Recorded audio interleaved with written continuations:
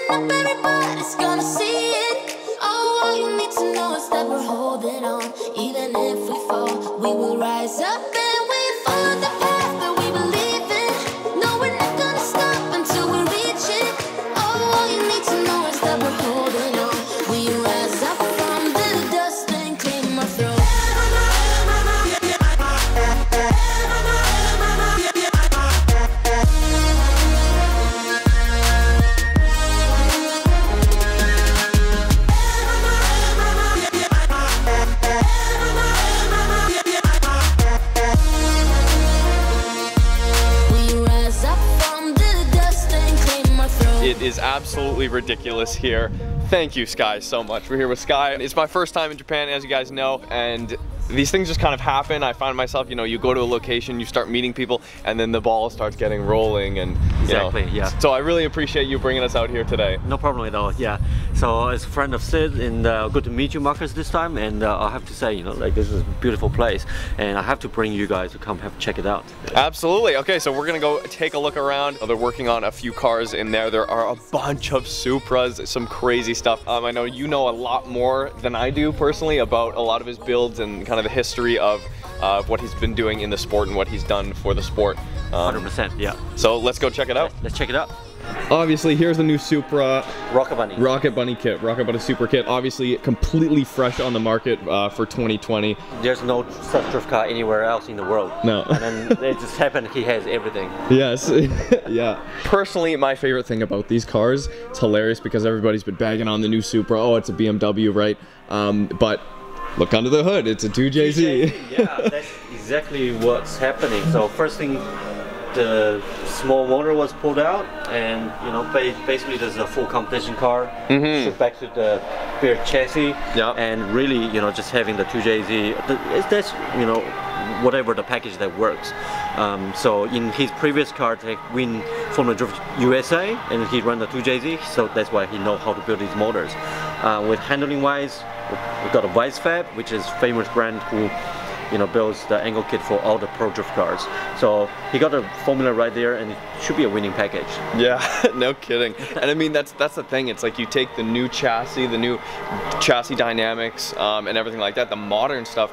But the 2JZ has been proven over and over and over again, right? So, Yeah. and I mean, we you guys have seen me drive 2JZs on the channel before, and there's so many ways to do it.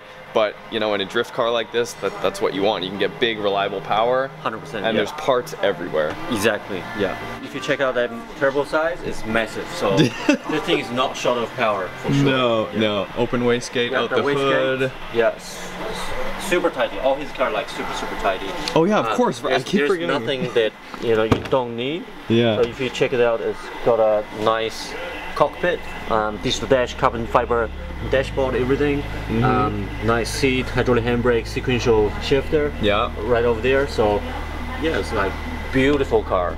Absolutely. So, I mean, everything has been thought of here. Yeah, a lot of people say, "Oh, this is too nice to drift." Uh, That's probably a lot of people will think. Yeah. But actually, that's what pro drift car these days is gonna be. You know, it's, if you look at the GT3 race car, and this mm-hmm. car is probably even higher level, higher power, handling wise, but it's especially made for drifting. Yes. So it's, it's a pro car. Yeah. If you look at the carbon roof, how beautiful that is. Mm-hmm. So now, do you do you know if they got like pre-production cars through Toyota at all, or was this just as soon as the car hit the market, they got started working on it right away? Uh, the deal started quite early on, mm-hmm. and obviously lunch, lunch, lunch. No, Iman.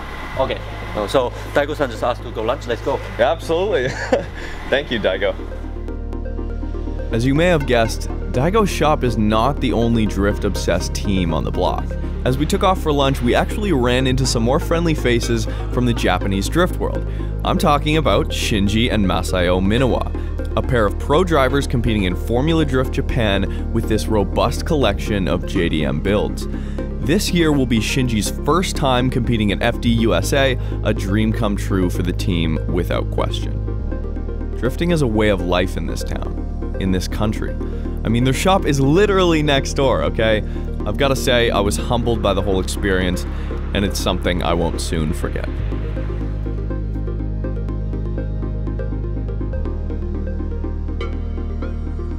All right, so Daigo's shop is massive. I mean, here in Japan, the uh, the real estate is it's pretty tight, especially around the greater Tokyo area.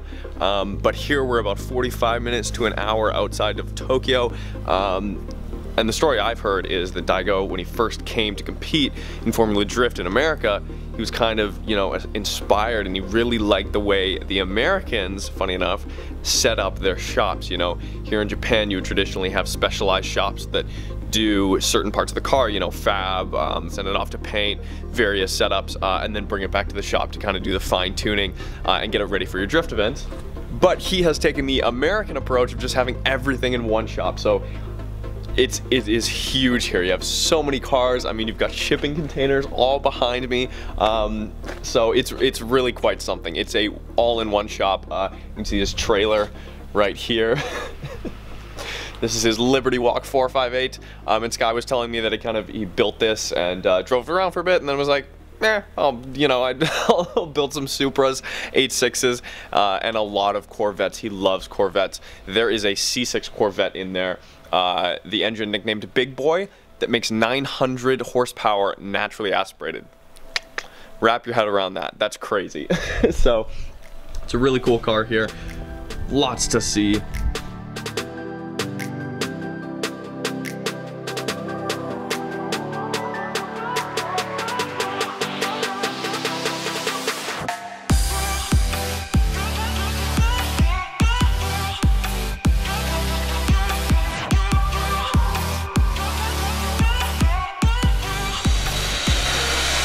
So I believe these cars are actually going to be going down to Formula Drift Long Beach in May. Obviously, it's a long way to take cars down there. You got to ship all your cars, your crew, everything, tire changers, whatnot.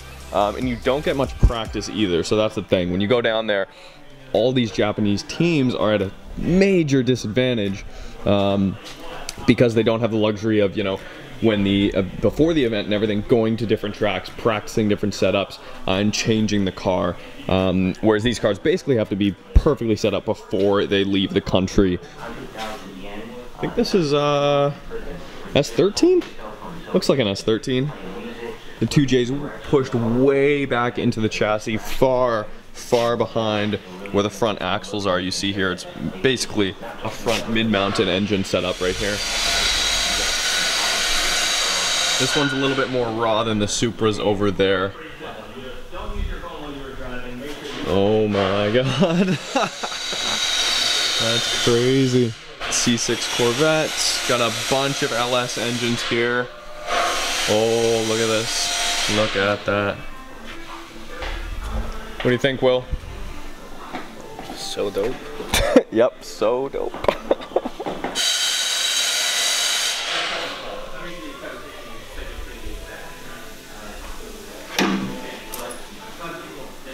So as you can see behind me, Daigo has completely embraced Toyota this season for Formula Drift and D1 GP here in Japan. So all these Toyotas behind me, the 8.6 and the two Supras back here, and this isn't all of them, uh, have been fitted and are being built for this uh, this year's Formula Drift Championship. Uh, and Daigo will be heading back, I, I believe so, uh, to Long Beach this spring for the first time to compete in four years. He hasn't been back in four years, uh, as you can see, all two JZs in the Supras back there. Pretty insane to see in person. Um, the amount of trophies up on the wall. Uh, it is a full-scale operation here. The shop is huge. It would take forever to cover everything. Um, but these cars are world-class drift cars the top tier drift cars in the world right now, uh, and we are in the heart of Japan right here in, in the flesh. It doesn't seem real. So as you can see, major cooling in the back here. Major cooling. This Supra is getting a wide body kit. I believe that's a Rocket Bunny wide body kit on this Supra here. Same carbon fiber. Cooling back here, radiator, huge radiator, full carbon fiber and everything.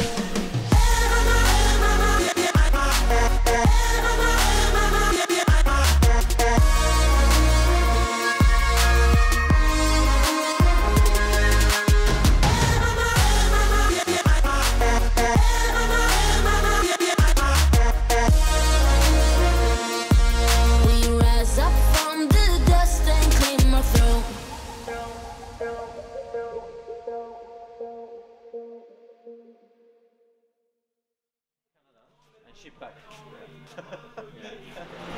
And of course, you guys, once again, we've run into Mark. it's it's it's crazy. I mean, two weeks ago, three weeks ago, we were there in Vancouver, and now we're here. And then we I see you everywhere. I like know. every day, we're seeing different stuff. This is quite an experience. I mean, rarely do we get a chance to get into a pro drifter, not only one, but one of the best, and seeing what they're building and one of the forefronts of technologies. Absolutely, um, building yeah. drift cars. I mean, it's just such a so, such an advanced you know thing today, and it's just insane. Like I'm. Just an eye-opening experience looking into what they're doing. It's it, like it doesn't feel real. Yeah, that's that's It why I'm like I. I don't even have words to describe. Just looking at the brand new things, I mean, wow, I didn't know that technology is so advanced today with how light stuff can be Mm-hmm. and I mean, they've already got full carbon doors, uh, like Sky was saying, for the new Supra. it's very built yeah, it's it's built for a purpose, Yeah. right? It's absolutely functions over form. It's really about what it is and the rest is just sponsorships and anything else. The rest of it it's just a car that drifts. Yes. yeah. That's what it is. So such an amazing thing. I mean, I wasn't a super like a super fan of the new Supra Me either, me until either. just like the past two days Yeah. when I see so many nice body Supra and honestly, not like if I compare this to like a professional drift car, Right. this really sold it. I mean, looking at how the chassis stands and the and how they can build the stuff in the back and Yeah. the weight, and I think this is a really functional car for competing on the highest level. And seeing that makes me really want to get one now. It, it feels like this is its natural habitat. Correct. This new car, Correct. you know. It has potential. Yeah. See, the, even like the Mark IV Supra, it doesn't. That doesn't seem to fit into the drifting world quite as well. It's a bit. It's a bit of a GT kind of high horsepower straight line Mm-hmm. Yeah, car, yeah. and seeing this kind of with this stance with such wide kind of angle and cambers in the front and being able to have a balanced drift, it, it just it, it speaks to it. Now this car is a complete car where you can build it for road, for track purposes, or for drifting. It can be anything. I love the two J's too. Yeah. I mean, it's better than a Beamer engine. Let's be real here. this is so reliable and so well. This, this is the pool. Yeah. Right. So it's got a made for itself. Unfortunately, guys, I don't think we're gonna be able to film with Charles and his R34 GTR this time in Japan. But we already have plans uh, of potentially coming back in July. so uh, he's gonna have different mods on the car, and we're gonna go for a drive. Luckily, Charles is local to Vancouver, uh, so I do see him quite often back in the mainland, back home. So, oh my God, beautiful! But get ready for that because next time we're in Japan, that is going to be an insane video. Boom! And there you go, you guys. Daigo shop uh, here just outside of Tokyo, Japan. I honestly, I still can't believe it. Um, I took a huge leap coming here to Japan. Um, I only had a couple of things planned here, car-related things planned here. To be completely honest, before I left, um, we were planning to go see Nakai-san at RWB HQ with friend of the show Sid. We did that for the New Year's party, uh, which we actually missed because our flights were delayed, but that's a whole whole other story. Um, and then uh, I'm actually shooting a video for Sid's koi business, so that's why we're going up north. I'm about to catch a bullet train to go do that. But other than that, I really didn't have many other car plans here, but as uh, as I've experienced and as I've learned over the past with different travels that we've been on um, across North America is that once you go somewhere, you end up meeting people. I mean, we all speak the automotive language. We all speak car, right? So I ended up meeting people. Um, Sid introduced me to Sky, owner of Drift Academy in New Zealand. Uh, so maybe a New Zealand trip at some point. Um, so he brought us out here. Thank you so much, Sky. I can't thank you enough, honestly. Uh, check out the Drift Academy YouTube channel. The link is in the description. He'll be covering a bunch of stuff uh, as well as in New Zealand. He does a bunch of drift events over there. You can go check out Mark Wang, his app Car Meets as well. He's here. Charles Wong, you guys know from Vancouver, CW Collective on YouTube um, and CW Unit on Instagram. I met Jack from Ultramotive as well. He's here too. Uh, so check out all their links are in the description. Top tier drifters right here in Japan. It doesn't get any better, you guys. So smash the like button and subscribe if you haven't already. And here continues our adventures in Japan. I'll see you guys next time.